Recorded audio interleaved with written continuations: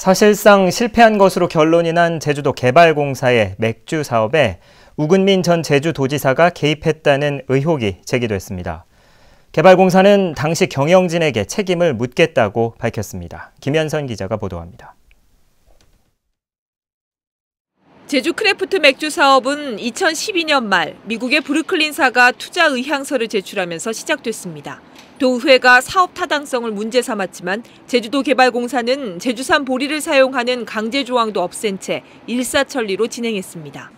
이 과정에 우금민 전 지사가 개입했다는 주장이 당시 개발공사 이사회 회의록을 근거로 제기됐습니다. 지사가 뭐라고 지시하느냐? 비비사업 어떻게 할 것인가? 할 의사가 없는 비비사에서 의향서를 보냈는데도 행동이 없다. 이렇게 질책을 합니다. 월권이에요. 이사회, 이사회를 무력화시키는 겁니다. 결국 우금민 지사 퇴임 이후 개발공사가 맥주 사업을 포기하자 사업자 측이 10억 원을 물어내라며 소송을 제기한 상황. 개발공사는 재판에서 지면 당시 경영진에게 구상권을 청구하겠다고 밝혔습니다.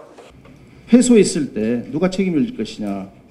당시에 사장님하고 이사회 의결에 도의회 의견을 무시하고 의사회 의결에 참석한 이사들 전부에 대해서 구상권을 행사할 수 있느냐?